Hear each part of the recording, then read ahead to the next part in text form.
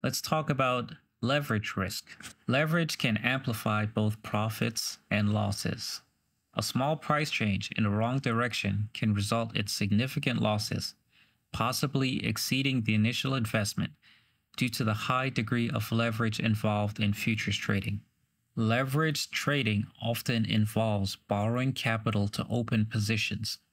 If the market moves in the wrong direction and your account balance falls below a certain threshold, you'll face a margin call. This means that you must deposit more money or close out your positions to meet the margin requirements.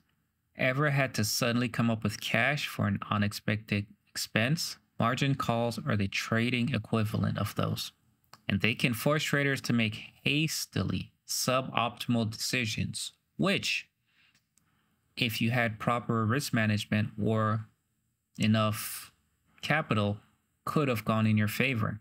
So it's important to remember avoid margin calls at all costs. Have you ever been in a situation where you were faced with a margin call? What actions did you take when you were faced with a margin call?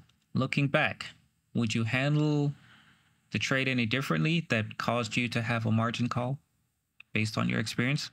Another pitfall of leverage is that leverage can give you a false sense of security by making it seem like you're using free money.